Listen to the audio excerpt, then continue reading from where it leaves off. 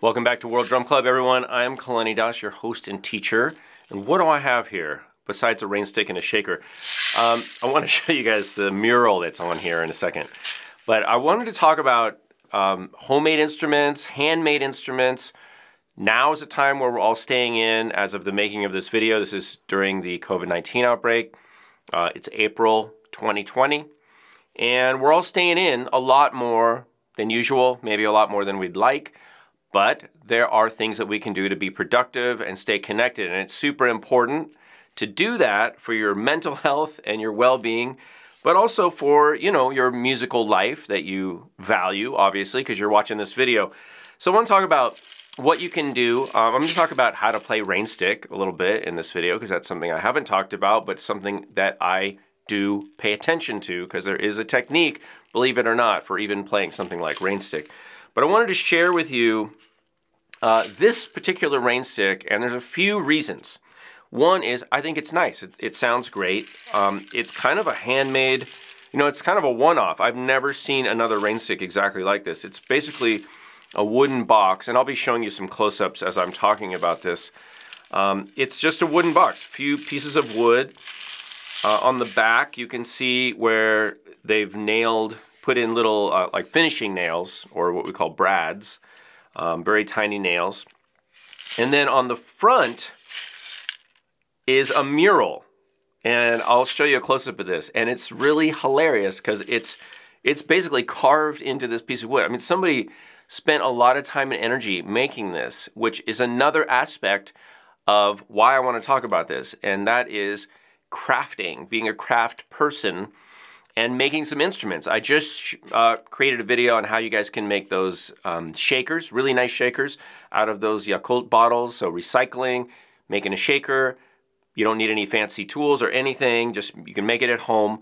But I want you to look at this this mural. It's a uh, like a Peanuts, like a Charlie Brown mural, and it's it's kind of weird. It's because it's like a I don't know, sort of a Halloween thing. I don't know. There's a spider and there's Lucy and and uh, Snoopy, and then there's a tree stump over here. It's just very interesting. I don't know what the story is. Maybe you guys can leave a story below in the comments and tell us what you think this all means. Um, and then on the back, there's even this little rope, like a little loop, and another rope. what does it all mean? But I guess this is where you could hang it, right? Hang it on the wall. Uh, and, uh, you know, when you're done looking at it as a piece of art, take it down and play it. Let me talk about how to play Rainstick real quick. And I know this might seem like a benign topic or a topic that doesn't need to be a topic for some of you. But, you know, every percussion instrument uh, has a spectrum or a continuum of techniques that you can apply. And that starts with just the pick it up and shake it kind of thing, like a like a child would do, right? Just pick it up and ah, and just kind of make a sound with it. To all the way up to very subtle and very musical techniques, right? Just because you're playing an instrument doesn't necessarily mean you're making the most musical sound. I mean, every sound's musical, but as a musician, right, my job is to take something that could be very rough around the edges, very just like a blobby in terms of sound, and, and create music out of it. You know, once I was lucky enough to host the famous and infamous uh, Afro-Cuban rumba group Los Papines in my house. This is back in the like early 1990s, I think. And um, they said something I'll never forget, and it's absolutely true. And they weren't bragging. They said, you know, we could play we could pick up and play on trash cans and people will dance because we're not just playing instruments, we're playing music. All right, and, and that is absolutely true. So it doesn't matter what you're playing, it, it's more about how you play it, all right? So when I play Rainstick, for example, um, one of the ways I get more sound out of a, out of a shorter Rainstick is to slowly rotate it.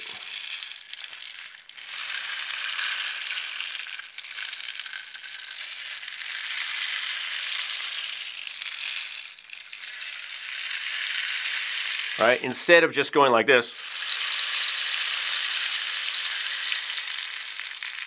you know, which is fine. There's no, there's nothing, there's nothing wrong with that. But if you wanted, say, to have a longer, more gradual, sustained rain sound, make sure, make sure you get all the filling to one end, and then slowly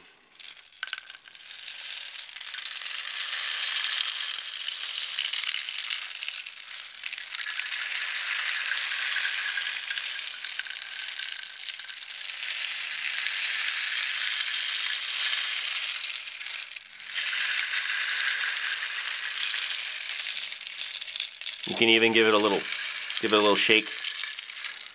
So the point is, every instrument, first of all, every instrument you pick up, no matter what it is, will teach you how to play it. That's true. Every instrument will teach you how to play it. What do I mean by that? Every instrument gives you feedback. Whenever you handle something, whenever you strum a guitar, blow into a flute, pick up a drum, you know, pick up a hand percussion instrument, and you start to experiment with it, it's giving you feedback in the form of sound and, and vibrations and effects, you know, timbre, volume, all the elements of music. And it's your job to learn from that feedback when I manipulate something, even like a rain stick, when I impose some technique uh, on an instrument, what do I get back?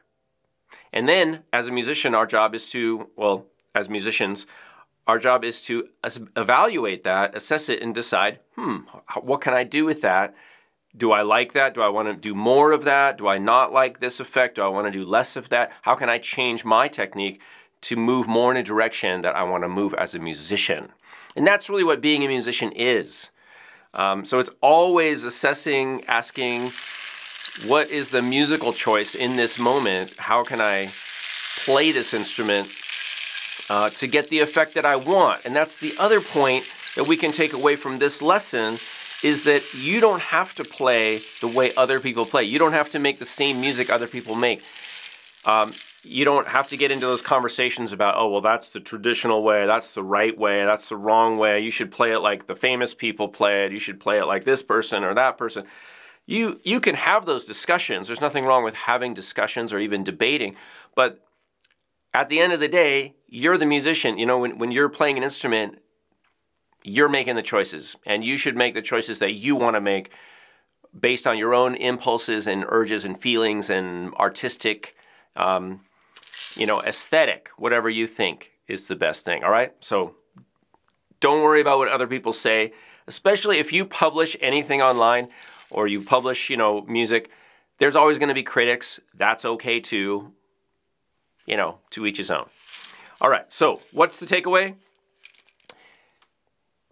Maybe you can make something at home during these times or, or after these times. um, you know, get out, get some craft stuff out. Go to the hardware store, find some things that you can make some instruments from, and um, and enjoy that process.